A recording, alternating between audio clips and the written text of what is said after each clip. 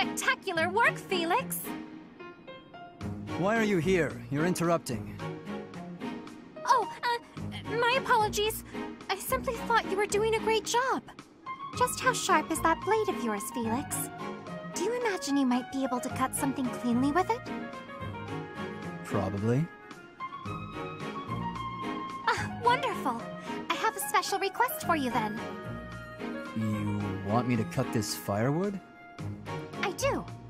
I shall toss them one by one to you, and you shall make a sweeping blow to slice them. Sounds like a chore. I saw a knight do it once, so surely you can as well. Or perhaps you are worried that you are not capable.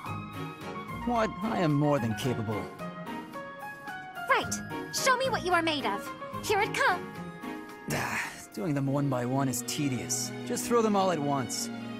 All of them, if you insist. Here we go!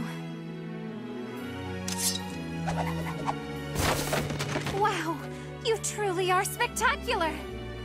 I know. You are undoubtedly the most revered woodcutter in all the land. Now I am intrigued.